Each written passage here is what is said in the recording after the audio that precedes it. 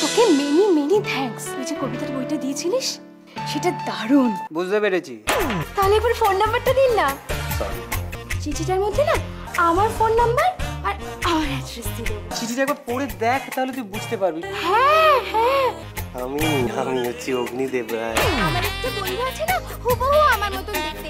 তাহলে কি রিনি লুকিয়ে লুকিয়ে অগ্নিদেব রায়ের সঙ্গে প্রেম করছে? দেখুন লাগলে পরে ছাড়ে না। তিরিশে জানুয়ারি রবিবার সকাল সাড়ে দশটায় আকাশ আটে।